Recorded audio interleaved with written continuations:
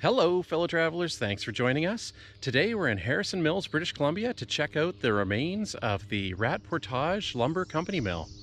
Let's go explore. The town of Harrison Mills got its name from the sawmill that once stood on the shores of the Harrison River. In November 1899, the Harrison River Mills Timber and Trading Company was incorporated, and soon after, the town of Harrison Mills sprung up, including houses, a school, churches, stores, a community hall, and a railway station.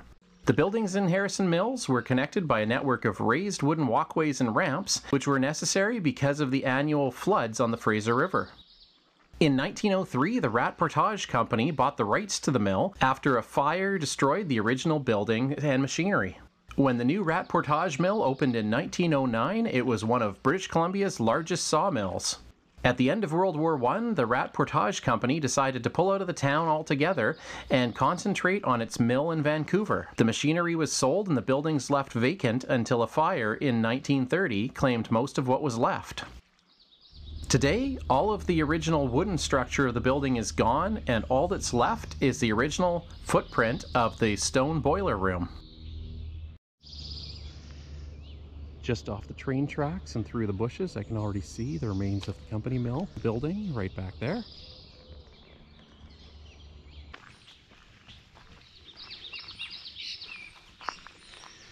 It's actually a very beautiful area.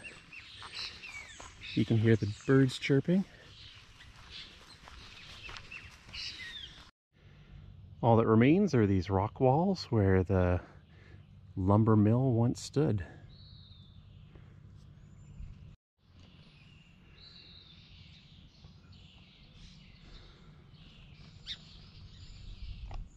The site's fallen victim to a number of graffiti artists who seem to use the walls as a canvas.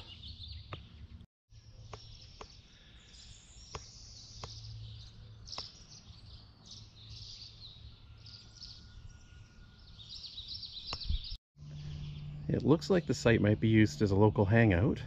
There's actually a fire pit and some beer cans inside.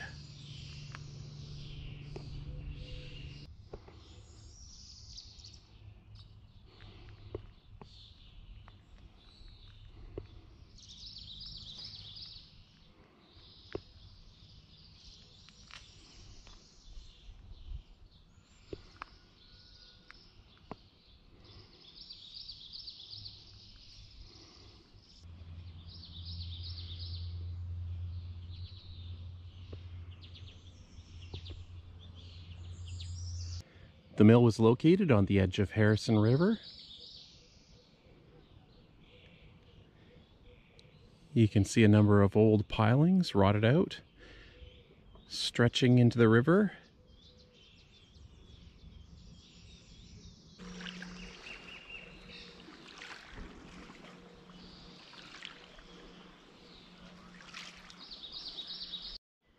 Not many other traces remain a few big concrete pilings. And this open clearing next to the original mill building.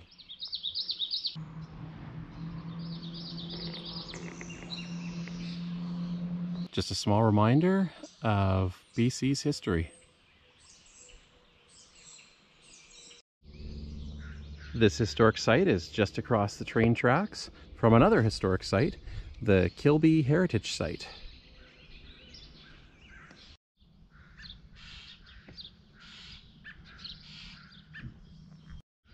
Kilby is temporarily closed, but we'll come back again sometime to explore and learn more about this historic town site. Thanks for joining us today. Hope you're staying safe and taking care. Check out our interactive map if you want to see other abandoned and historic locations that we've been to. Until next time, it's time to exit through the gift shop.